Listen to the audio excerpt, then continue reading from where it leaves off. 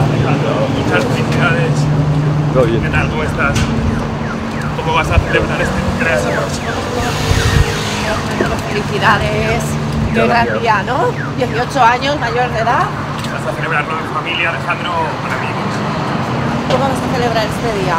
Un día muy especial, me imagino, para ti, ¿no? Bien, gracias. Buen Bien. día. ¿Cómo Buenos te, días. te ha felicitado tu madre ya en persona, Alejandro?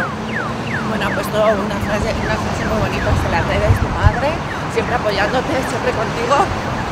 Alejandro, ahora ya que tienes la mayoría de edad, eh, vas a tomar decisiones importantes en cuanto a tu vida. No quieres decir nada, no quieres entrar. ¿Te da miedo todo lo que se pueda generar como personaje público, Alejandro? Sí.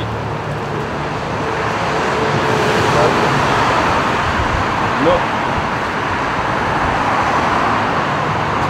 Gracias. Así, tal esperar la llamada de madre, de Alejandro, ¿te gustaría? No vas a entrar, ¿no? Te da mucha vergüenza esto. No quieres decir nada.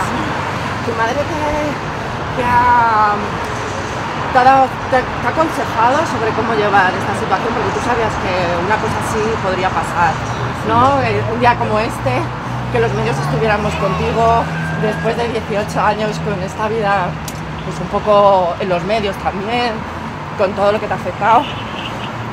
Tú como, no sé, ¿qué balance haces? ¿Cómo lo llevas, Alejandro?